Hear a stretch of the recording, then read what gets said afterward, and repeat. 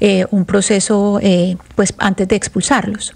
Sobre esto que le estoy contando, estas dos noticias, una en Estados Unidos, otra aquí en Colombia, obviamente distintas, pero que llevan a lo mismo, es la responsabilidad de los padres de familia frente a la educación de sus hijos, pero sobre todo frente al comportamiento de sus hijos acorde a la educación que uno les entrega. Ana Cristina, hay una fundación que se llama la Fundación Prema, que el próximo 13 y 14 de abril van a tener un evento muy interesante en Bogotá que se llama Sentir para Sanar.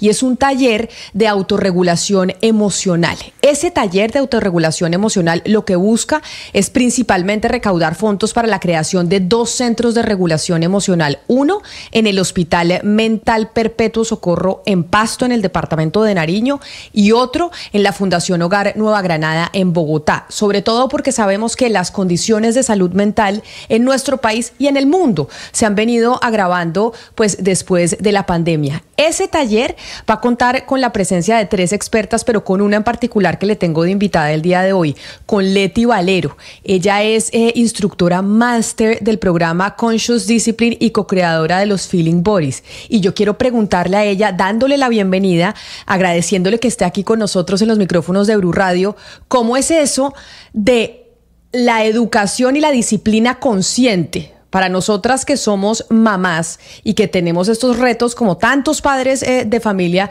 de lograr una disciplina consciente con los niños. Instructora Valero, mil gracias por estar con nosotros hoy aquí en Mañanas Blue. Bienvenida. Muchas gracias, un placer estar con ustedes este, y un placer contribuir con, con esto.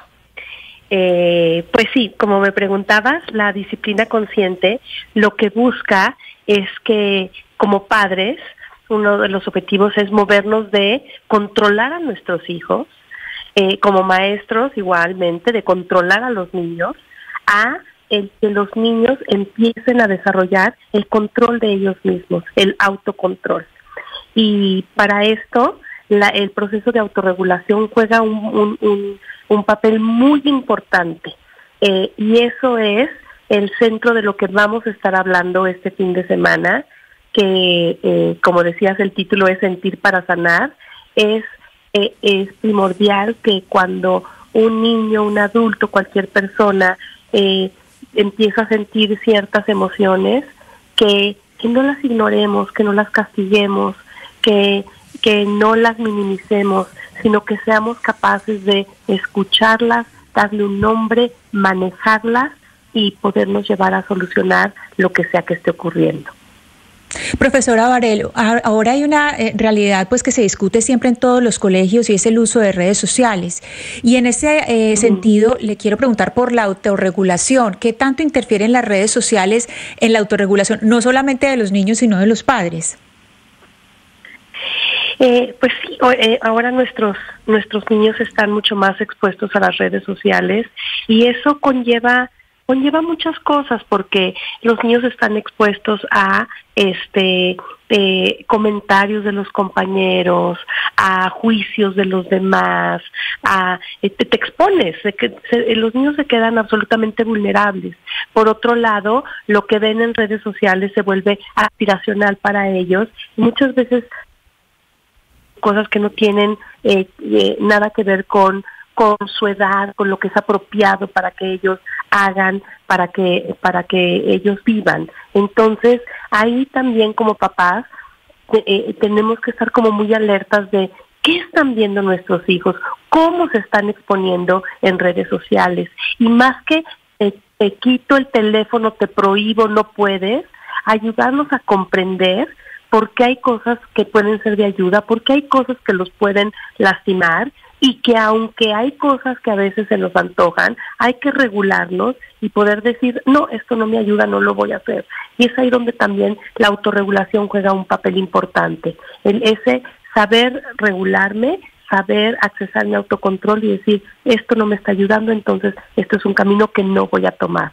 Pero esto es, eh, esto cuando pensamos en una disciplina tradicional, ¿cómo se vería? Se vería un papá quitando, castigando, prohibiendo, para que el niño más se esconda y lo trate de accesar, porque finalmente en eso acaba.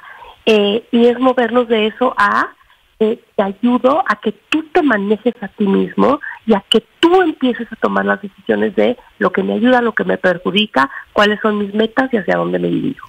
Siempre se dice que los padres de familia no tenemos un manual de cómo educar a los hijos y de cuál es la mejor manera de educar porque nadie nació aprendido en ese tema. Ustedes van a tener este taller el 13 y el 14 de abril con la Fundación Prema. En este taller que ustedes dan, se entrega como esa capacitación de uno cómo debe eh, educar a sus hijos y tener esa interacción, porque sí sé de muchas amigas mías que están constantemente preguntando, bueno, pero yo cómo hago esto con mi muchachita, está adolescente o la que tiene dos años, a veces no me controlo porque tienen estas pataletas. Ustedes van a entregar esos elementos en el taller de uno cómo puede tener una mejor educación y relacionamiento con los hijos. Absolutamente. Eh, vamos a hacerlo de manera, eh, vamos a eh, compartir contenido basado en la investigación, basado en cómo funciona el cerebro, pero también vamos a practicar para que de verdad se vayan con herramientas. Los participantes van a poder experimentar en algunas actividades para que ellos interioricen el también, no solo es que me digan la información, sino lo practico y yo experimento cómo se siente, porque aparte, acabas de decir algo que es tan cierto. Y mire, yo soy de, profesión pedagoga. He trabajado en escuelas por más de 30 años. Eh, una maestra en una escuela recibe capacitación constante para ser maestra. Cada año son capacitaciones y capacitaciones y capacitaciones durante el año. ¿Qué tanto nos capacitamos como padres para hacer la labor más importante de nuestra vida? No lo hacemos. Cuando tú vas a tener un hijo, no llegas al hospital y te dicen dónde está su comprobante de que se preparó para ser padre. No existe eso. Sí, para cuando vas a ser maestro te dicen, enséñame tus estudios para ver si vas a poder ser maestro. Y, y entonces es muy cierto que como papás, todos queremos hacer lo mejor que podemos, pero a veces no sabemos cómo. Y esa es, es uno de los motivos de esta capacitación, como compartir esta información para que no solo es él, no se le grita a un niño, no se maltrata a un niño, no se humilla a un niño, sino entonces, ¿qué hago? ¿Qué hago en esos momentos donde está la explosión emocional del de dos años o la explosión emocional del de 18 años o el de 15 años? ¿Qué hago? Porque se encuentran los padres muchas veces queriendo hacerlo mejor, pero sin herramientas. Y entonces recurriendo a, eh, a ciertas este, maneras, eh, fuera de ayudar, acaban lastimando más a los niños. Que obviamente hay que ir al taller, eh, Leti, pero ahorita estábamos hablando del caso, por ejemplo, de bullying en el colegio eh, Los Nogales en Bogotá. Díganos usted una recomendación para esos padres de familia que tienen un hijo que está haciendo bullying, porque yo digo, debe, no sé qué sea más difícil, si ser el padre de familia del que hace bullying o del que le hacen bullying. ¿Qué, qué, responsabilidad o cómo pueden hacer los padres cuando los llaman del colegio y le dicen, mire, es que su muchachito o su muchachita está acosando a otro en el, eh, en el salón? Mira, el comportamiento siempre es una forma de comunicación. Entonces ahí es donde tenemos que tener la curiosidad y preguntarnos el por qué. Porque no es nada más tu hijo está teniendo estas prácticas que estamos denominando como bullying por la manera tan lastimosa en que se está eh, comportando con, eh, con algunos niños o con alguno en especial, porque por lo general el bullying es con alguien en particular. Y eh, y, podría uno decir, entonces como te estás haciendo bullying, una vez más, estás castigado, no haces, no vas, te prometo que te quito, te vas a olvidar del celular, de... No es acerca de eso, es acerca de ¿Por qué un niño haría eso? El comportamiento es un síntoma de algo que está pasando y tenemos que atacar de raíz el por qué un niño experimentaría placer en molestar a otro y por qué el otro toleraría que alguien lo humille y, y lo trate de maneras no aceptables.